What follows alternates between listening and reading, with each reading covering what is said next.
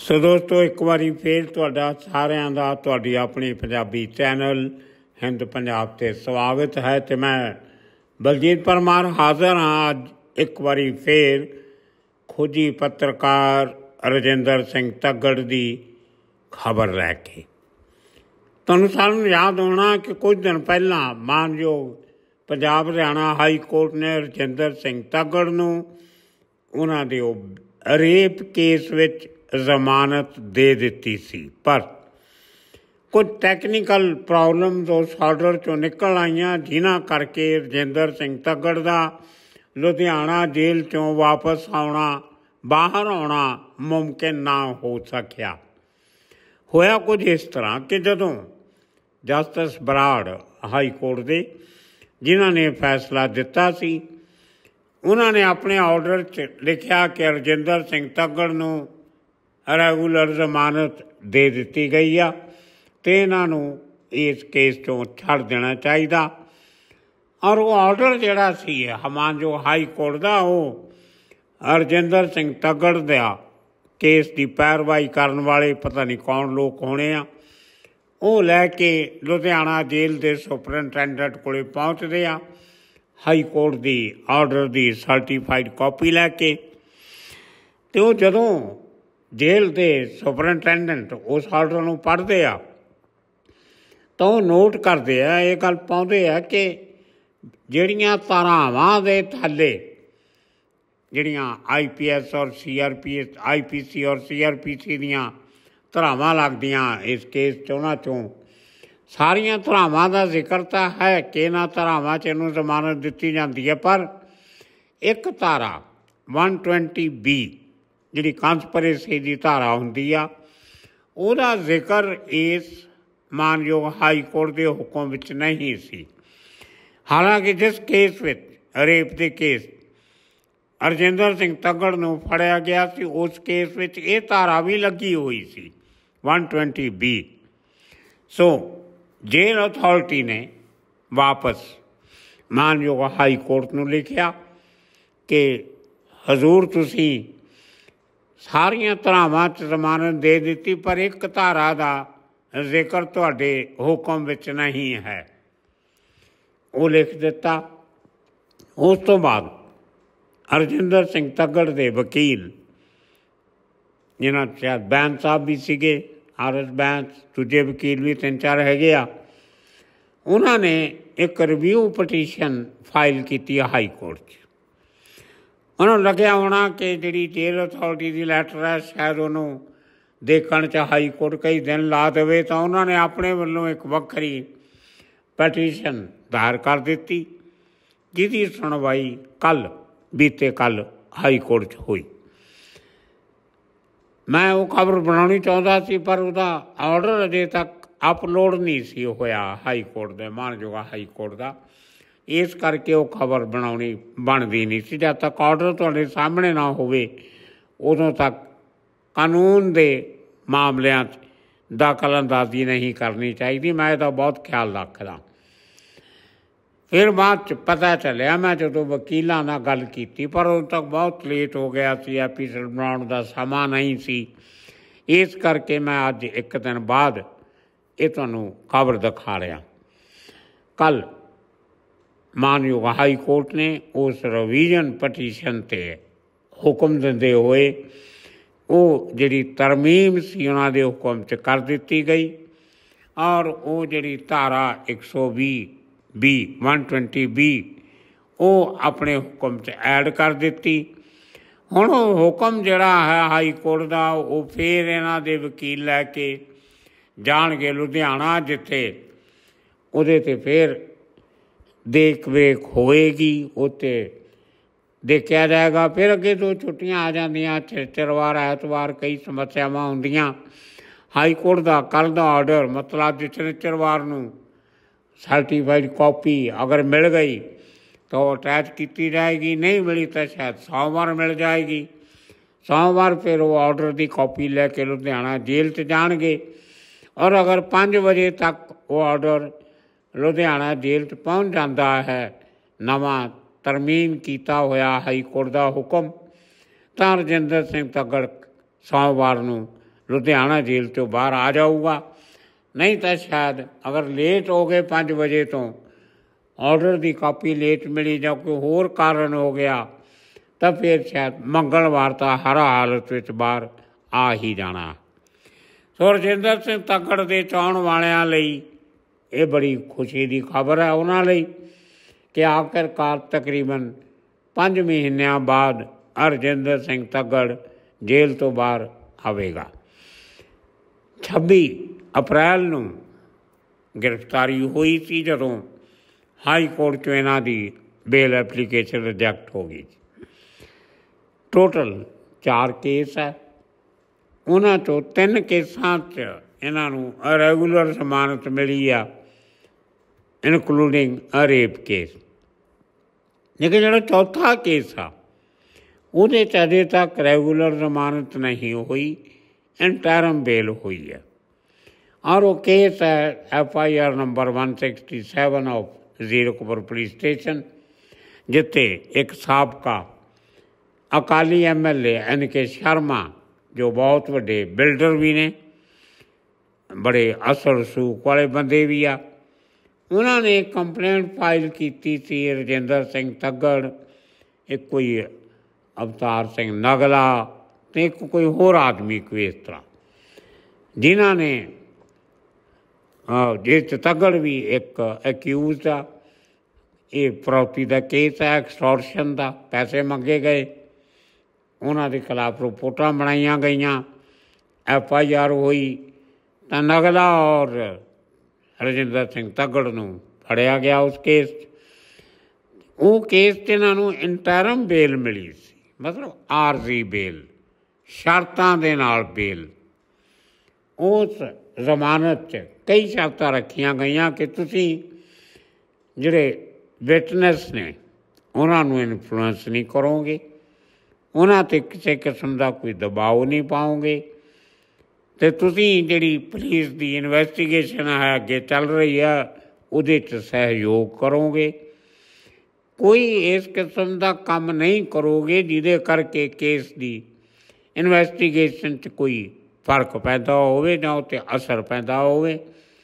ਸੋ ਇਹ ਕਈ ਸਾਰੀਆਂ ਸ਼ਰਤਾਂ ਕੋਰਟ ਲਾਉਂਦੀਆਂ। ਹੁਣ, ਉਸ ਕੇਸ ਦੀ ਸੁਣਵਾਈ ਵੀ ਕੱਲ ਸੀਗੀ, ਜਿਹਦੇ 'ਚ ਬੈਂਸ ਸਾਹਿਬ ਨੇ ਐਡਵੋਕੇਟ ਬੈਂਸ ਆਰਐਸ ਬੈਂਸ ਰਾਜਵਿੰਦਰ ਸਿੰਘ ਬੈਂਸ ਔਰ ਹੋਰ ਵਕੀਲ, ਉਹਨਾਂ ਦਾ ਬੇਟਾ ਵੀ ਸ਼ਾਇਦ ਹੈ ਇਹਦੇ 'ਚ। ਤੋਂ ਉਹਨਾਂ ਨੇ ਇਸ ਇੰਟਰਮ ਬੇਲ ਨੂੰ ਰੈਗੂਲਰ ਬੇਲ ਕਰਾਉਣ ਲਈ ਅਰਜ਼ੀ ਦਿੱਤੀ ਹੋਈ ਸੀ, ਜਿਹਦੀ ਕੱਲ ਪੇਸ਼ੀ ਸੀ ਦੂਸਰੇ ਜੱਜ ਸਾਹਿਬ ਦੀ ਕੋਰਟ 'ਚ। ਮਤਲਬ ਇੱਕੋ ਦਿਨ ਅਰਜਿੰਦਰ ਸਿੰਘ ਤਗੜ ਦੀਆਂ ਦੋ ਕੇਸਾਂ 'ਚ ਤਰੀਕ ਸੀ ਕੱਲ ਦੀ। ਇੱਕ 'ਚ ਤਾਂ ਤਰਮੀਮ ਸੀ। ਪਹਿਲਾ ਮਿਲੀ ਬੇਲ ਦੀ ਜੋ ਮੈਂ ਤੁਹਾਨੂੰ ਦੱਸਿਆ। ਦੂਸਰਾ ਇੰਟਰਮ ਬੇਲ ਨੂੰ ਰੈਗੂਲਰ ਬੇਲ ਕਰਾਉਣ ਦਾ। ਜਦੋਂ ਰੈਗੂਲਰ ਬੇਲ ਹੁੰਦੀ ਹੈ, ਉਹਦੇ 'ਚ ਸ਼ਰਤਾਂ ਤਾਂ ਹੁੰਦੀਆਂ, ਪਰ ਥੋੜੀਆਂ ਨੀਆਂ ਘੱਟ ਸਖਤ ਹੁੰਦੀਆਂ। ਉਹ ਰੈਗੂਲਰ ਬੇਲ ਜਿਹੜੀ ਆ, ਉਹ ਕੈਨਸਲ ਕਰਾਉਣੀ ਬੜੀ ਔਖੀ ਹੁੰਦੀ ਹੈ। ਪਰ ਜਿਹੜੀ ਇੰਟਰਮ ਬੇਲ ਹੁੰਦੀ ਹੈ, ਉਹਦੀ ਤੁਸੀਂ ਉਲੰਘਣਾ ਕੀਤੀ, ਤਾਂ ਇਨਵੈਸਟੀਗੇਸ਼ਨ ਦੇ ਦਾ ਪੱਖ ਸੁਣਦੇ ਹੋਏ ਕੋਰਟ ਤੁਹਾਡੀ ਜ਼ਮਾਨਤ ਰੱਦ ਕਰ ਦਿੰਦੀ। ਮਤਲਬ ਇੰਟਰਮ ਬੇਲ ਜਿਹੜੀ ਹੁੰਦੀ ਹੈ ਉਹ ਜਲਦੀ ਰੱਦ ਹੋ ਜਾਂਦੀ ਹੈ ਜਿਹੜੀ ਰੈਗੂਲਰ ਬੇਲ ਹੈ ਉਹਨੂੰ ਰੱਦ ਕਰਾਉਣ 'ਚ ਸਮਾਂ ਜ਼ਿਆਦਾ ਲੱਗਦਾ। ਸੋ, ਜਦੋਂ ਰਜਿੰਦਰ ਸਿੰਘ ਦੇ ਵਕੀਲਾਂ ਨੇ ਰੈਗੂਲਰ ਬੇਲ ਅਪਲਾਈ ਕਰਨ ਲਈ ਕਿਹਾ, ਬਹਿਸ ਹੋਈ ਆਰਗੂਮੈਂਟ ਹੋਏ ਤਾਂ ਕੋਈ ਫੈਸਲਾ ਨਹੀਂ ਆ ਸਕਿਆ। ਮਾਨਯੋਗ ਜੱਜ ਸਾਹਿਬ ਨੇ ਇਸ ਕੇਸ ਦੀ ਅਗਲੀ ਤਰੀਕ 18 ਅਕਤੂਬਰ ਰੱਖ ਦਿੱਤੀ। ਮਤਲਬ ਤਕਰੀਬਨ ਅੱਜ ਤੋਂ 1 ਮਹੀਨਾ ਬਾਅਦ। ਹੁਣ, ਜਦੋਂ ਅਰਜਿੰਦਰ ਸਿੰਘ ਤੱਗੜ ਲੁਧਿਆਣਾ ਜੇਲ੍ਹ ਤੋਂ ਬਾਹਰ ਆਉਂਦੇ ਆ ਸੋਮਵਾਰ ਜਾਂ ਮੰਗਲਵਾਰ, ਉਸ ਤੋਂ ਬਾਅਦ ਉਹਨਾਂ ਨੂੰ ਘੱਟੋ ਘੱਟ 18 ਅਕਤੂਬਰ ਤੱਕ ਥੋੜਾ ਜਿਹਾ ਜਾਪਤੇ 'ਚ ਰਹਿਣਾ ਪੈਣਾ। ਜਿਵੇਂ ਚੋਣ ਜਾਪਤਾ ਹੁੰਦਾ। ਜਦੋਂ ਬੰਦਸ਼ਾਂ ਲੱਗ ਜਾਂਦੀਆਂ, ਬੜੀਆਂ ਸ਼ਰਤਾਂ ਲਾਈਆਂ ਹੁੰਦੀਆਂ ਉਹਨਾਂ ਦਾ ਖਿਆਲ ਰੱਖਣਾ ਪੈਂਦਾ। ਉਸ ਜਾਪਤੇ ਦਾ ਤੁਸੀਂ ਉਲੰਘਣ ਨਹੀਂ ਕਰ ਸਕਦੇ। ਤੇ ਜੇ ਕਿਤੇ ਚਾਹੁੰਦੇ ਹੋਏ ਜਾਂ ਨਾ ਚਾਹੁੰਦੇ ਹੋਏ ਜਾਂ ਨੋਇੰਗਲੀ ਜਾਂ ਅਨਨੋਇੰਗਲੀ ਕਿਤੇ ਉਹਨਾਂ ਸ਼ਰਤਾਂ ਦਾ ਉਲੰਘਣ ਹੋ ਜਾਵੇ ਤਾਂ ਤੁਹਾਡੀ ਆਰਸੀ ਬੇਲ ਜਿਹੜੀ ਆ ਇੰਟਰਮ ਬੇਲ, ਉਹ ਕੈਨਸਲ ਕੀਤੀ ਜਾ ਸਕਦੀ ਸੋ ਇਸ ਕਰਕੇ 1 ਮਹੀਨਾ ਹੋਰ ਜੇਲ੍ਹ ਦੇ ਆਉਣ ਤੋਂ ਬਾਅਦ 18 ਅਕਤੂਬਰ ਤੱਕ ਹਰਜਿੰਦਰ ਸਿੰਘ ਤਗੜ ਦੇ ਸਿਰ ਤੇ ਉਸ ਕਾਨੂੰਨੀ ਜਾਬਤੇ ਦੀ ਤਲਵਾਰ ਲਟਕੀ ਰਹੇਗੀ। ਅਗਰ ਉਹ ਕਿਸੇ ਤੈਸ ਚਾ ਕੇ, ਗੁੱਸੇ ਚਾ ਕੇ ਜਾਂ ਜਿਹੜੀ 5 ਮਹੀਨੇ ਦੀ ਉਹਨਾਂ ਨੇ ਕੈਦ ਕੱਟੀ, ਇੱਕ ਹਿਸਾਬ ਨਾਲ ਕੈਦ ਹੀ ਹੁੰਦੀ ਹੈ ਭਾਵੇਂ ਜੁਡੀਸ਼ੀਅਲ ਰਿਮਾਂਡ ਹੋਵੇ। ਬੇਲ ਨਹੀਂ ਮਿਲੀ ਤਾਂ ਰਹਿਣਾ ਤਾਂ ਜੇਲ੍ਹ 'ਚ ਹੀ ਪੈਂਦਾ। ਬੁਰਾ ਵੀ ਲੱਗਦਾ। ਪਰ ਅਗਰ ਉਹਨਾਂ ਨੇ ਕੋਈ ਇਹੋ ਜਿਹੀ ਹਰਕਤ ਕਰਤੀ ਅਰਜਿੰਦਰ ਸਿੰਘ ਤੱਗੜ ਨੇ ਜਿਹੜੀ ਹਾਈ ਕੋਰਟ ਵੱਲੋਂ ਫਿਕਸ ਕੀਤੀਆਂ ਗਈਆਂ ਹਦਾਇਤਾਂ ਦੇ ਖਿਲਾਫ ਹੋਵੇ, ਤਾਂ ਜ਼ਮਾਨਤ ਰੱਦ ਵੀ ਹੋ ਸਕਦੀ ਹੈ। ਸੋ ਸਿਆਣਾ ਬੰਦਾ ਹਮੇਸ਼ਾ ਕੋਸ਼ਿਸ਼ ਇਹ ਕਰਦਾ ਹੁੰਦਾ ਕਿ ਇਹੋ ਜੀ ਗੱਲ ਨਾ ਕੀਤੀ ਜਾਵੇ, ਨਾ ਉੱਚਾ ਬੋਲਿਆ ਜਾਵੇ, ਨਾ ਕਿਸੇ ਨੂੰ ਚੰਗਾ ਮਾੜਾ ਕਿਹਾ ਜਾਵੇ, ਨਾ ਵਿਟਨੈਸ ਦੀ ਗੱਲ ਕੀਤੀ ਜਾਵੇ, ਨਾ ਕਿਸੇ ਨੂੰ ਕੰਟੈਕਟ ਕਰਨ ਦੀ ਕੋਸ਼ਿਸ਼ ਕੀਤੀ ਜਾਵੇ। ਉਹ ਇੰਤਜ਼ਾਰ ਕਰਦੇ ਆ ਕਿ ਚਲੋ ਅਗਲੀ ਤਰੀਕ ਤੇ ਕੀ ਫੈਸਲਾ ਆਉਂਦਾ, ਉਹ ਦੇਖਾਂਗੇ, ਫਿਰ ਅਗਲੀ ਸਟ੍ਰੈਟਜੀ ਬਣਾਵਾਂਗੇ। ਸੋ ਦੋਸਤੋ ਸੋਚਣ ਵਾਲੀ ਗੱਲ ਹੈ ਕਿ ਜੇਲ੍ਹ ਤੋਂ ਬਾਹਰ ਆਉਣ ਤੋਂ ਬਾਅਦ ਤਕਰੀਬਨ 5 ਮਹੀਨਿਆਂ ਤੋਂ ਬਾਅਦ ਹਰਜਿੰਦਰ ਸਿੰਘ ਤੱਗੜ ਦਾ ਐਟੀਟਿਊਡ ਜਾਂ ਉਹਨਾਂ ਦੀ ਜਿਹੜੀ ਮਾਨਸਿਕ ਹਾਲਤ ਹੈ ਜਾਂ ਫਿਜ਼ੀਕਲ ਕੰਡੀਸ਼ਨ ਹੈ ਜਾਂ ਉਹਨਾਂ ਦੀ ਸਟ੍ਰੈਟਜੀ ਹਰ ਬੰਦੇ ਦੀ ਇੱਕ ਸਟ੍ਰੈਟਜੀ ਹੁੰਦੀ। ਕੇਸ ਹੋ ਗਏ, ਜੇਲ੍ਹ ਜਾਣਾ ਪਿਆ, ਇੱਕ ਨਹੀਂ ਚਾਰ ਚਾਰ ਹੋ ਗਏ, ਉਸ ਤੋਂ ਬਾਅਦ ਵੀ ਆਦਮੀ ਸਟ੍ਰੈਟਜੀ ਬਣਾਉਂਦਾ। ਹਰ ਆਦਮੀ ਨੂੰ ਇਹ ਲੱਗਦਾ ਹੁੰਦਾ ਜਿਹੜਾ ਫੜਿਆ ਜਾਂਦਾ ਕਿ ਮੇਰੇ ਤੇ ਕੇਸ ਗਲਤ ਬਣਾਏ ਗਏ ਆ। ਮੈਂ ਕੋਈ ਇਹੋ ਜਿਹਾ ਇਨਾ ਸੰਗੀਨ ਵੱਡਾ ਜੁਰਮ ਨਹੀਂ ਸੀ ਕੀਤਾ ਕਿ ਮੇਰੇ ਤੇ ਕੇਸ ਬਣਾ ਦਿੱਤਾ ਜਾਂਦਾ। ਹੈ ਇਹ ਹਿਊਮਨ ਫਿਤਰਤ ਹੈ ਹਰ ਆਦਮੀ ਐਵੇਂ ਸੋਚਦਾ। ਆਪਾਂ ਘਰੇ ਵੀ ਜਦੋਂ ਨਿਆਣੇ ਹੁੰਦੇ ਸੀ, ਨਿੱਕੀ ਜੀ ਗਲਤੀ ਕਰਦੇ ਸੀ ਮਾਂ ਪਿਓ ਨੂੰ ਥਾਪੜ ਮਾਰ ਦੇਣੇ। ਕਦੇ ਡੰਡੇ ਨਾਲ ਵੀ ਪਟਾਈ ਹੋ ਜਾਂਦੀ ਤੇ ਆਪਾਂ ਇਕੱਲੇ ਬਹਿ ਕੇ ਸੋਚਦੇ ਹੁੰਦੇ ਸੀ ਕਿ ਯਾਰ ਗਲਤੀ ਤਾਂ ਇਨੀ ਨਹੀਂ ਸੀ, ਪਰ ਸਜ਼ਾ ਜ਼ਿਆਦਾ ਮਿਲ ਗਈ। ਇਹ ਤੇ ਮਾਰਨ ਕੁੱਟਣ ਦੀ ਲੋੜ ਕੀ ਸੀ? ਉਹੀ ਡਰਾ ਧਮਕਾ ਦਿੰਦੇ, ਵਾਰਨਿੰਗ ਦੇ ਦਿੰਦੇ, ਅਸੀਂ ਅੱਗੇ ਤੋਂ ਨਾ ਗਲਤੀ ਕਰਦੇ, ਪਰ ਜੋ ਹੋਇਆ, ਉਹ ਮਾੜਾ ਹੋਇਆ। ਸੋ ਇਹ ਹਿਊਮਨ ਨੇਚਰ ਹੈ, ਇਹ ਫਿਤਰਤ ਹੈ ਆਦਮੀ ਦੇ ਇਨਸਾਨ ਸੋ ਉਹਨਾਂ ਨੂੰ ਅਰਜਿੰਦਰ ਸਿੰਘ ਤੱਗੜ ਨੂੰ ਵੀ ਲੱਗਦਾ ਹੋਊਗਾ ਕਿ ਮੇਰੇ ਨਾਲ ਧੱਕਾ ਹੋ ਗਿਆ। ਮੈਂ ਤਾਂ ਕੋਈ ਇਹਦਾ ਕੰਮ ਕੀਤਾ ਨਹੀਂ ਸੀ। ਸ਼ਾਇਦ ਇਸੇ ਕਰਕੇ ਉਹ ਤੇ ਉਹਨਾਂ ਦੇ ਸਹਿਯੋਗੀ ਜਿਹੜੇ ਹੈਗੇ ਆ।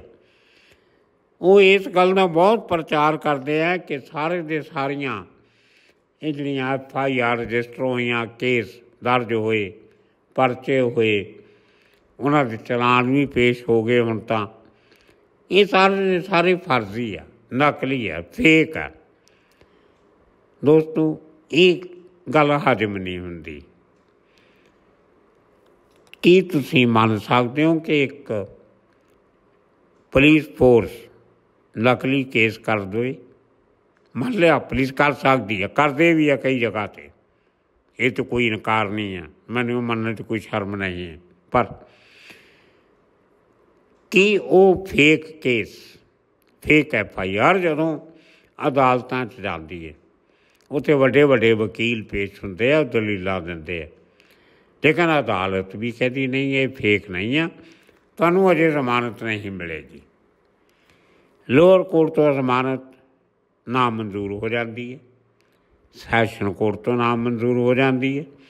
ਔਰ ਉਸ ਤੋਂ ਬਾਅਦ ਮਾਨਯੋਗ ਪੰਜਾਬ ਹਰਿਆਣਾ ਹਾਈ ਕੋਰਟ ਤੋਂ ਵੀ ਨਾ ਮਨਜ਼ੂਰ ਹੋ ਜਾਂਦੀ ਹੁਣ ਤੁਸੀਂ ਆਪੇ ਅੰਦਾਜ਼ਾ ਲਾ ਲਓ, ਅਗਰ ਐਫ ਆਈ ਆਰ ਫੇਕ ਹੋਵੇ, ਪਰਚਾ ਨਕਲੀ ਹੋਵੇ, ਫਰਜ਼ੀ ਹੋਵੇ ਤਾਂ ਹਾਈ ਕੋਰਟ ਤੱਕ ਉਸ ਫਰਜ਼ੀਪਣੇ ਦੀ ਪਹਿਚਾਣ ਨਹੀਂ ਹੁੰਦੀ।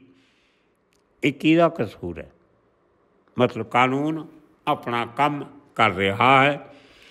ਜਦੋਂ ਕਾਨੂੰਨ ਨੂੰ ਲੱਗਦਾ ਕਿ ਹੁਣ ਇਸ ਆਰੋਪੀ ਦੀ ਜੇਲ੍ਹ 'ਚ ਰਹਿਣ ਦੀ ਕੋਈ ਲੋੜ ਨਹੀਂ ਹੈ, ਜਿਹੜੀ ਐਫ ਆਈ ਆਰ ਦਰਜ ਹੋਈ ਸੀ, ਉਹਦੀ ਇਨਵੈਸਟੀਗੇਸ਼ਨ ਤਕਰੀਬਨ ਤਕਰੀਬਨ ਪੂਰੀ ਹੋ ਗਈ ਹੈ।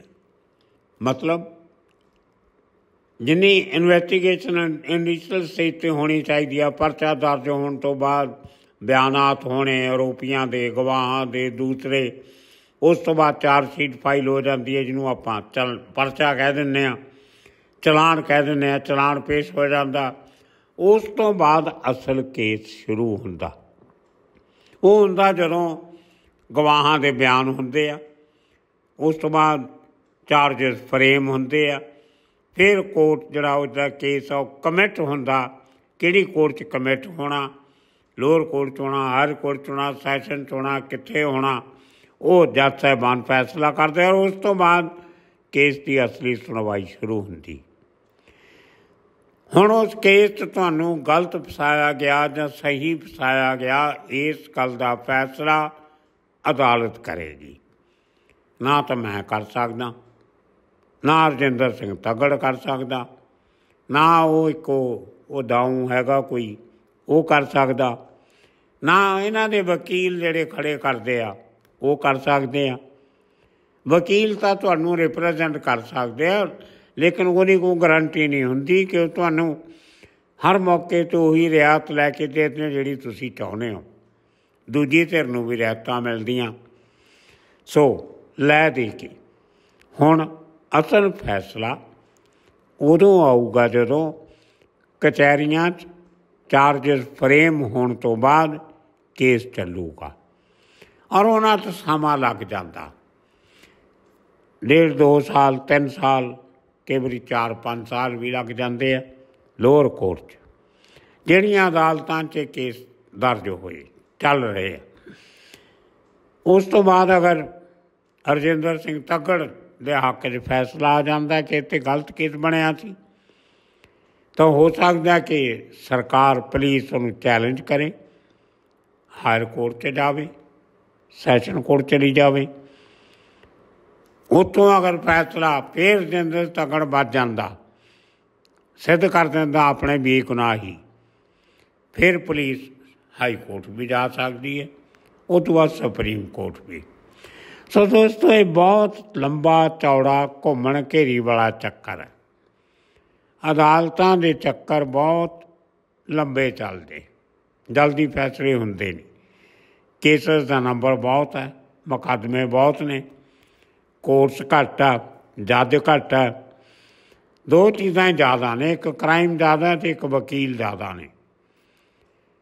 ਇੰਨੇ ਵਕੀਲ ਅਦਾਲਤਾਂ 'ਚ ਤੁਰੇ ਫਿਰਦੇ ਆ, ਵਿਚਾਰੇ ਉਹਨਾਂ ਕੋਲੇ ਕੇਸ ਹੈ ਨਹੀਂ। ਦੋਸਤੋ ਪਿੱਛੇ ਜੇ ਮੈਨੂੰ ਇੱਕ ਪੰਜਾਬ ਦੀ ਇੱਕ ਅਦਾਲਤ ਜਾਣ ਦਾ ਮੌਕਾ ਮਿਲਿਆ, ਜਿੱਥੇ ਮੈਂ ਆਪਣੇ ਇੱਕ ਵਕੀਲ ਦੋਸਤ ਨੂੰ ਮਿਲਣ ਜਾਣਾ ਸੀ। ਜਦੋਂ ਮੈਂ ਬਾਹਰ ਗੱਡੀ ਰੋਕ ਕੇ ਉਤਰਿਆ, ਅੰਦਰ ਜਾ ਰਿਹਾ ਹੌਲੀ ਹੌਲੀ ਆਪਣੇ ਅਟੈਂਡੈਂਟ ਦਾ ਹੱਥ ਫੜ ਕੇ, ਮੈਨੂੰ 10 12 ਵਕੀਲਾਂ ਨੇ ਆ ਕੇ ਅਪਰੋਚ ਕੀਤਾ ਜੀ, ਤੁਹਾਡਾ ਕੀ ਕੰਮ ਆ? ਅਸੀਂ ਕਰਾ ਦਿੰਨੇ ਮੈਂ ਕਿਹਾ ਯਾਰ ਮੇਰਾ ਕੋਈ ਕੰਮ ਨਹੀਂਗਾ ਮੈਂ ਤਾਂ ਕਿਸੇ ਨੂੰ ਮਿਲਣ ਆਇਆ ਇੱਥੇ, ਮੇਰਾ ਕੋਈ ਕੇਸ ਨਹੀਂ ਹੈ, ਮੇਰਾ ਕੋਈ ਲੈਣਾ। ਨਹੀਂ ਨਹੀਂ ਤਾਂ ਦੱਸੋ ਤੁਸੀਂ, ਅਸੀਂ ਇਸ ਹਫ਼ਤੇ 'ਚ ਕੰਮ ਕਰ ਦਿਆਂਗੇ ਮਤਲਬ ਸੋਲਿਸਿਟਿੰਗ ਹੋ ਰਹੀ ਹੈ। ਵਿਚਾਰੇ ਮੈਨੂੰ ਤਰਸ ਆ ਰਿਹਾ ਸੀ ਕਿ ਕਾਲੇ ਕੋਟ ਵਾਲੇ ਬੰਦੇ ਵਿਚਾਰੇ ਇੰਨੇ ਸਾਲ ਪੜ੍ਹ ਕੇ, ਤਿੰਨ ਤਿੰਨ, ਚਾਰ ਚਾਰ ਸਾਲ ਵਕਾਲਤ ਚਲਾ ਕੇ ਸਨਦ ਲੈਂਦੇ ਆ ਪ੍ਰੈਕਟਿਸ ਸ਼ੁਰੂ ਕਰਦੇ, ਲੇਕਿਨ ਕਲਾਇੰਟ ਇੰਨੇ ਮਿਲਦੇ ਨਹੀਂ ਕਿ ਉਹਨਾਂ ਦਾ ਤੋਰੀ ਫੁਰਕਾ ਚੱਲ ਸਕੇ। ਬੁਰਾ ਹਾਲਾਂਕਿ ਕ੍ਰਾਈਮ ਜ਼ਿਆਦਾ ਹੋ ਰਿਹਾ। ਕ੍ਰਿਮੀਨਲ ਜ਼ਿਆਦਾ ਸਾਹਮਣੇ ਆ ਰਹੇ ਆ, ਲੇਕਿਨ ਵਕੀਲਾਂ ਦੀ ਗਿਣਤੀ ਉਦੋਂ ਵੀ ਆ ਜ਼ਿਆਦਾ। ਦੋਸਤੋ, ਇਹ ਵੀ ਇੱਕ ਸਮਾਜ ਦਾ ਬੜਾ ਵੱਡਾ ਦੁਖਾਂਤ ਹੈ। ਜਿੰਨਾ ਜ਼ਿਆਦਾ ਵਕੀਲ ਹੋਣਗੇ, ਜਿੰਨੇ ਜ਼ਿਆਦਾ ਪੁਲਿਸ ਸਟੇਸ਼ਨ ਹੋਣਗੇ, ਜਿੰਨੀਆਂ ਜ਼ਿਆਦਾ ਜੇਲਾਂ ਹੋਣਗੀਆਂ ਜਿੰਨੀਆਂ ਜ਼ਿਆਦਾ ਕਚਹਿਰੀਆਂ ਹੋਣਗੀਆਂ, ਉਹਦਾ ਮਤਲਬ ਇਹ ਹੁੰਦਾ ਕਿ ਸਮਾਜ ਤੇ ਸਮਾਜ 'ਚ ਰਹਿਣ ਵਾਲੇ ਲੋਕ ਸੇਫ ਨਹੀਂ। ਉਹਨਾਂ ਦੀ ਹਿਫਾਜ਼ਤ ਨਹੀਂ। ਕਿਤੇ ਨਾ ਕਿਤੇ ਸਿਸਟਮ 'ਚ ਗਲਤੀਆਂ ਅਦਾਲਤਾਂ ਬਹੁਤ ਘੱਟ ਹੋਣੀਆਂ ਚਾਹੀਦੀਆਂ, ਵਕੀਲ ਘੱਟ ਹੋਣੇ ਚਾਹੀਦੇ ਜੇਲ੍ਹਾਂ ਘੱਟ ਹੋਣੇ ਚਾਹੀਦੀਆਂ, ਪੁਲਿਸ ਸਟੇਸ਼ਨ ਘੱਟ ਹੋਣੇ ਚਾਹੀਦੇ ਤਾਂ ਪਤਾ ਲੱਗੇਗਾ ਕਿ ਸੂਬਾ ਤਰੱਕੀ ਕਰ ਰਿਹਾ। ਅਮਨ ਅਮਾਨ ਹੈ, ਸ਼ਾਂਤੀ। ਮੈਂ ਦੋਸਤੋ ਉਸ ਤੋਂ 4-5 ਦਿਨ ਪਹਿਲਾਂ ਮੈਂ ਉੱਤਰਾਖੰਡ ਜਾ ਕੇ ਆਇਆ। ਮੈਂ ਇੱਕ ਐਪੀਸੋਡ ਬਣਾਇਆ ਵੀ ਸੀ, ਸ਼ਾਇਦ ਤੁਸੀਂ ਸੁਣਿਆ ਹੋਣਾ। ਦੇਹਰਾਦੂਨ, ਮਸੂਰੀ ਗਏ। ਮੇਨ ਕੰਮ ਦੇਹਰਾਦੂਨ ਸੀ। ਤਿੰਨਾਂ ਦਿਨਾਂ 'ਚ ਮੈਂ ਦੇਹਰਾਦੂਨ ਦੀ ਕਿਤੇ ਵੀ ਸੜਕ ਤੇ ਇੱਕ ਪੁਲਿਸ ਵਾਲਾ ਨਹੀਂ ਦੇਖਿਆ। ਕੋਈ ਪੁਲਿਸ ਦੀ ਗੱਡੀ ਤਿੰਨਾਂ ਦਿਨਾਂ 'ਚ ਜਦੋਂ ਮੈਂ ਸੜਕ ਤੇ ਨਿਕਲਿਆ, ਅੱਗੇ ਪਿੱਛੇ ਆਈਆਂ ਹੋਣਗੀਆਂ, ਮੈਨੂੰ ਨਹੀਂ ਪਤਾ। ਮੈਂ ਕੋਈ ਪੁਲਿਸ ਵਾਲਾ, ਪੁਲਿਸ ਦੀ ਪ੍ਰੈਜ਼ੈਂਸ ਸੜਕਾਂ ਤੇ ਨਹੀਂ ਦੇਖੀ। ਕਿਸੇ ਚੁਰਾਹੇ ਤੇ, ਕਿਸੇ ਸਿਗਨਲ ਤੇ ਕੋਈ ਟ੍ਰੈਫਿਕ ਵਾਲਾ ਵੀ ਨਹੀਂ ਸੀ, ਪਰ ਫਿਰ ਵੀ ਲੋਕ ਰੈੱਡ ਸਿਗਨਲ ਤੇ ਖੜੇ ਸੀ ਤੇ ਗ੍ਰੀਨ ਸਿਗਨਲ ਤੇ ਜਾਂਦੇ ਸੀ। ਇੰਨੀ ਕੁ ਸੈਂਸ ਡਿਸਪਲਿਨ ਉਹਨਾਂ ਲੋਕਾਂ 'ਚ ਹੈ। ਹਾਂ ਮਿਲਟਰੀ ਦੀਆਂ ਗੱਡੀਆਂ ਬਹੁਤ ਦੇਖੀਆਂ। ਫੌਜੀ ਵੀ ਖੜੇ ਕੇ ਜਿਹੜੇ ਆਪਣੇ ਏਰੀਏ 'ਚ ਕੰਟਰੋਲਮੈਂਟ ਟ੍ਰੈਫਿਕ ਆਰਗੇਨਾਈਜ਼ ਕਰ ਰਹੇ ਸੀ, ਉਹ ਸਾਰੇ ਦੇਖੇ ਪਰ ਪੁਲਿਸ ਵਾਲਾ, ਕੋਈ ਨਹੀਂ ਦੇਖਿਆ। ਇੱਕ ਪੁਲਿਸ ਵਾਲਾ, ਟ੍ਰੈਫਿਕ ਵਾਲਾ ਮਸੂਰੀ ਦੱਸਿਆ ਜਿਹੜਾ ਮੇਨ ਰੋਡ ਤੇ, ਬੱਸ ਅੱਡੇ ਤੋਂ ਅੱਗੇ ਜਾ ਕੇ ਥੋੜਾ ਜਿਹਾ ਜਿਹੜੀ ਵਨਵੇ ਰੋਡ ਆ ਉੱਤੇ ਪ੍ਰਾਈਵੇਟ ਗੱਡੀਆਂ ਨਹੀਂ ਜਾਣ ਦਿੰਦੇ, ਟੈਕਸੀਆਂ ਨਹੀਂ ਜਾਣ ਦਿੰਦੇ, ਰਿਕਸ਼ੇ 'ਚ ਜਾਣਾ ਪੈਂਦਾ।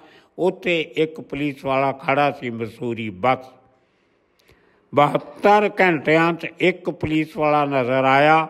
ਇਹ ਮੈਂ ਦੇਹਰਾਦੂਨ, ਮਸੂਰੀ ਦੀ ਗੱਲ ਕਰ ਰਿਹਾ, ਉੱਤਰਾਖੰਡ ਦੀ। ਆਪਣੇ ਇੱਥੇ ਹਾਲ ਦੇਖ। ਕਿਸੇ ਮਾਰਕੀਟ ਚਲੇ ਜਾਓ ਤੁਸੀਂ, ਮੋਹਾਲੀ ਦੀ, ਚੰਡੀਗੜ੍ਹ ਦੀ, ਉੱਥੇ ਯੂਟੀ ਦੀ ਪੁਲਿਸ ਹੈ ਤੇ ਪੰਜਾਬ ਦੀ ਪੁਲਿਸ ਹੈ। ਪੁਲਿਸ ਵਾਲੇ ਖੜੇ ਹੁੰਦੇ। ਪਤਾ ਨਹੀਂ ਮਾਰਕੀਟਾਂ ਜੋ ਕੀ ਇਕੱਠਾ ਕਰਦੇ ਰਹਿੰਦੇ ਆ। ਕਿਸੇ ਨੇ ਕਾਰ ਦੇ ਵੱਡੇ ਟਾਇਰ ਲਾਏ, ਉਹਨਾਂ ਦੇ ਚਲਾਨ ਕਰ ਰਹੇ ਆ ਕਿਸੇ ਦਾ ਕੁਝ ਕਿਸੇ ਦਾ ਕੁਝ ਜਿਹੜਾ ਮੇਨ ਕੰਮ ਹੈ ਕ੍ਰਿਮੀਨਲ ਨੂੰ ਫੜਨਾ ਡਰੱਗ ਕ੍ਰਾਈਮ ਉਹਨੂੰ ਟੈਕਲ ਕਰਨ ਦੀ ਜਗ੍ਹਾ ਮਾਰਕੀਟਾਂ 'ਚ ਜਾ ਕੇ ਪੈਸੇ ਇਕੱਠੇ ਕਰਨ ਦਾ ਜ਼ਿਆਦਾ ਟਾਈਮ ਲਾਇਆ ਜਾਂਦਾ। ਖੈਰ।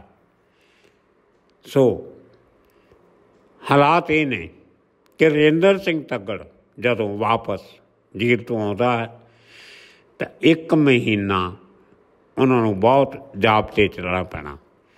ਔਰ ਮੈਂ ਸਲਾਹ ਦਊਂਗਾ ਜਦੋਂ ਤਕੜ ਨੂੰ, ਮੇਰੀ ਕੋਈ ਦੁਸ਼ਮਣੀ ਨਹੀਂ ਆ ਉਹਨਾਂ ਨਾਲ, ਕਿ ਥੋੜਾ ਜਿਹਾ ਕੰਟਰੋਲ ਰੱਖਿਓ ਹੁਣ। ਪੰਜ ਮਹੀਨੇ ਬਹੁਤ ਲੰਬਾ ਸਮਾਂ ਹੁੰਦਾ ਜੇਲ੍ਹ 'ਚ ਕੱਟਣ ਦਾ। ਆਪਣੇ ਰਵਈਏ 'ਚ ਤਬਦੀਲੀ ਲਿਆਓ। ਤੁਹਾਡੇ ਕੌਣ ਦੁਸ਼ਮਣ ਨੇ, ਕੌਣ ਦੋਸਤ ਨੇ, ਉਹਨਾਂ ਨੂੰ ਪਛਾਣੋ। ਇਹ ਜਿਹੜੇ ਗਿੱਦੜ ਨੇ ਨਾ ਰੰਗ ਕੀਤੇ, ਗਿੱਦੜ ਜਿਹੜੇ ਰੰਗ ਕੇ ਆਪਣੇ ਆਪ ਨੂੰ ਸ਼ੇਰ ਬਣਦੇ ਆ। ਗਿੱਦੜ ਨੇ ਗਿੱਦੜ ਹੀ ਰਹਿਣਾ, ਜਿਹੜਾ ਮਰਜ਼ੀ ਰੰਗ ਲਾ ਲਓ। ਇਹਨਾਂ ਤੋਂ ਬਚਣ ਦੀ ਕੋਸ਼ਿਸ਼ ਕਰੋ, ਰਜਿੰਦਰ ਸਿੰਘ ਤਗੜ ਜੀ। ਇਹ ਉਹ ਲੋਕ ਨੇ ਜਿਨ੍ਹਾਂ ਨੇ ਤੁਹਾਡੇ ਮੋਢਿਆਂ ਤੇ ਰੱਖ ਕੇ ਬੰਦੂਕਾਂ ਚਲਾਈਆਂ। ਤੁਹਾਨੂੰ ਤੇ ਤੁਹਾਡੇ ਹੋਰ ਪੰਜ ਛੇ ਸਾਥੀਆਂ ਨੂੰ ਜੇਲ੍ਹਾਂ ਦੇ ਪਿੱਛੇ ਪਚਾਤਾ ਸਲਾਕਾਂ ਦੇ ਪਿੱਛੇ ਆਪ ਤੁਰੇ ਫਿਰਦੇ ਗੱਡੀਆਂ ਵੀ ਨਵੀਆਂ ਲੈ ਲੀਆਂ ਘਰ ਵੀ ਲੈ ਲਏ, ਸਭ ਕੁਝ ਹੋ ਗਿਆ। ਵਿਦੇਸ਼ ਵੀ ਘੁੰਮ ਆਏ। ਤੁਹਾਡੀ ਤੁਸੀਂ ਜੇਲ੍ਹ 'ਚ ਬੈਠੇ ਸੀ ਤੇ ਵਿਦੇਸ਼ਾਂ 'ਚ ਘੁੰਮ ਰਹੇ ਸੀ।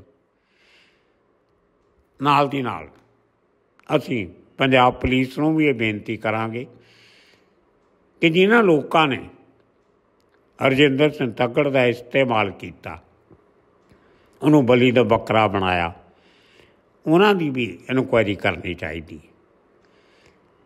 ਉਹਨਾਂ ਕੋਲੇ ਉਹ ਪੈਸਾ ਕਿੱਥੋਂ ਆਇਆ? ਜਿਹੜਾ ਪੈਸਾ ਉਹਨਾਂ ਨੇ ਵਕੀਲਾਂ ਨੂੰ ਦਿੱਤਾ। ਇਹਦੀ ਜਾਣਕਾਰੀ ਵੀ ਹਾਸਲ ਕਰਨੀ ਚਾਹੀਦੀ। ਵਕੀਲਾਂ ਦਾ ਸਾਨੂੰ ਕੋਈ ਗਿਲਾ ਨਹੀਂ। ਵਕੀਲਾਂ ਦਾ ਤਾਂ ਕੰਮ ਹੈ। ਉਹਨਾਂ ਕੋਲੇ ਜੇ ਚੋਰ ਨਹੀਂ ਆਉਣਗੇ, ਲੁਟੇਰੇ ਨਹੀਂ ਆਉਣਗੇ, ਕਾਤਲ ਨਹੀਂ ਆਉਣਗੇ, ਰੇਪਿਸਟ ਨਹੀਂ ਆਉਣਗੇ, ਤਾਂ ਕਿਹਦਾ ਕੇਸ ਲੜਨਗੇ ਉਹ? ਮੇਰਾ ਤੁਹਾਡਾ ਕੇਸ ਤਾਂ ਲੜਨਾ ਨਹੀਂ। ਸ਼ਰੀਫ ਆਦਮੀ ਤਾਂ ਵਕੀਲ ਕੋਲੇ ਜਾਂਦਾ ਹੀ ਨਹੀਂ ਤੇ ਜਾਣਾ ਇਹਨਾਂ ਨਹੀਂ ਹੈ ਔਰ ਕਾਨੂੰਨ, ਅਗਰ ਉਹ ਵਕੀਲ ਨਹੀਂ ਵੀ ਇਹਨਾਂ ਦਾ ਕੇਸ ਲੜਨਗੇ, ਤਾਂ ਵੀ ਅਦਾਲਤ ਇਹਨਾਂ ਨੂੰ ਜਿਹੜਾ ਇੱਕ ਪੂਲ ਹੁੰਦਾ ਵਕੀਲਾਂ ਦਾ, ਜਿੱਥੇ ਤੁਹਾਨੂੰ ਅਦਾਲਤ ਵੱਲੋਂ ਲੀਗਲ ਏਡ ਮਿਲਦੀ ਆ ਉਤੋਂ ਤੁਹਾਨੂੰ ਵਕੀਲ ਮਿਲ ਜਾਂਦਾ, ਕਿਉਂਕਿ ਇਹ ਹੱਕ ਬਣਦਾ ਹਰ ਬੰਦੇ ਦਾ ਵਕੀਲ ਖੜਾ ਕਰਨਾ ਸੋ ਵਕੀਲ ਭਰਾਵਾਂ ਨੂੰ ਉਹਨਾਂ ਦਾ ਕਿੱਤਾ ਜਿਹੜਾ ਹੈ ਉਹ ਨਿਭਾਉਣਾ ਆਉਂਦਾ ਔਰ ਉਹ ਆਪਣਾ ਕੰਮ ਕਰਦੇ। ਪਰ ਨਾਲ ਦੀ ਨਾਲ ਥੋੜਾ ਜਿਹਾ ਸੋਚਣਾ ਇਹ ਬਣਦਾ ਕਿ ਅਸੀਂ ਕਿਸ ਕਿਸਮ ਦੇ ਕੇਸ ਲੜਨੇ। ਬਥੇਰਾ ਕੰਮ ਆਉਂਦਾ ਯਾਰ। ਇਹ ਜ਼ਰੂਰੀ ਤਾਂ ਨਹੀਂ ਕਿ ਤੁਸੀਂ ਕਿਸੇ ਰੇਪ ਦੇ ਕੇਸ 'ਚ ਖੜੇ ਹੋ ਜਾਓ ਜਾਂ ਇਹੋ ਜਿਹਾ ਕੋਈ ਹੋਰ ਬਲੈਟੈਂਟ ਕ੍ਰਾਈਮ ਜਿਹੜਾ, ਬਾਕੀ ਡਿਫੈਂਡ ਦਾ ਹਰ ਬੰਦੇ ਦਾ ਹੱਕ ਬਣਦਾ ਕਨਸਟੀਟਿਊਸ਼ਨ ਕਹਿੰਦਾ, ਕਾਨੂੰਨ ਕਹਿੰਦਾ। ਸੋ ਦੇਖਦੇ ਹਾਂ ਰਜਿੰਦਰ ਸਿੰਘ ਤੱਗੜ ਸੋਮਵਾਰ, ਮੰਗਲਵਾਰ ਨੂੰ ਆਉਣ ਤੋਂ ਬਾਅਦ ਕੀ ਕਰਦਾ ਹੈ, ਕਿਵੇਂ ਵਿਚਰਦਾ ਹੈ, ਅੱਗੇ ਕੀ ਸਟ੍ਰੈਟਜੀ ਅਪਣਾਉਂਦਾ ਹੈ, ਕੀ ਦੁਬਾਰਾ ਉਹੀ ਆਪਣੀ ਅਗਰੈਸਿਵਨੈਸ ਆਪਣੀ ਅੰਗਰੇਜ਼ੀ ਤੇ ਆਪਣਾ ਰੋਬ ਰਾਬ ਰੱਖਦਾ ਹੈ ਜਾਂ ਇੱਕ ਸਿਆਣਾ ਸੁਲਝਿਆ, ਠੰਡੇ ਦਿਮਾਗ ਵਾਲਾ, ਠਹਿਰਾਓ ਵਾਲਾ ਠਹਿਰਾਓ ਵਾਲਾ ਸ਼ਖਸ ਬਣ ਕੇ ਸਮਾਜ ਦੇ ਵਿਤਰਦਾ ਹੈ, ਵਿਚਰਦਾ ਹੈ, ਇਹ ਦੇਖਾਂ ਸਮਾਂ ਬਹੁਤ ਬਲਵਾਨ ਹੁੰਦਾ, ਵੱਡਿਆਂ ਵੱਡਿਆਂ ਨੂੰ ਸਬਕ ਦੇ ਦਿੰਦਾ। ਆਸ ਕਰਦੇ ਹਾਂ ਕਿ ਰਜਿੰਦਰ ਸਿੰਘ ਤੱਗੜ ਇੱਕ ਨਵੇਂ ਰੂਪ 'ਚ ਸਾਡੇ ਸਾਹਮਣੇ ਆਵੇ। ਅਸੀਂ ਉਹਨਾਂ ਦੀਆਂ ਰਿਪੋਰਟਾਂ ਵੀ ਦੇਖੀਏ, ਉਹਨਾਂ ਦੀਆਂ ਖਬਰਾਂ ਵੀ ਸੁਣੀਏ ਤੇ ਇੱਕ ਨਵਾਂ ਤੱਗੜ ਉਹਨੂੰ ਵੀ ਦੇਖੀ। ਤੁਹਾਡਾ ਸਾਰਿਆਂ ਦਾ ਬਹੁਤ ਬਹੁਤ ਸ਼ੁਕਰੀਆ, ਧੰਨਵਾਦ। ਕੱਲ ਫੇਰ ਇਸੇ ਕਿਸਮ ਦੀ ਪੰਜਾਬ ਨਾਲ ਜੁੜੀਆਂ ਗੱਲਾਂ ਬਾਤਾਂ ਲੈ ਕੇ ਹਾਜ਼ਰ ਹੋਵਾਂਗੇ। ਉਦੋਂ ਤੱਕ ਤੁਹਾਡਾ ਸਾਰਿਆਂ ਦਾ ਬਹੁਤ ਬਹੁਤ ਸ਼ੁਕਰੀਆ, ਧੰਨਵਾਦ।